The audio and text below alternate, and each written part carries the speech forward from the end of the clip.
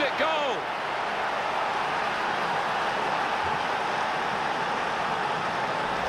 For the goalkeeper, another bad moment.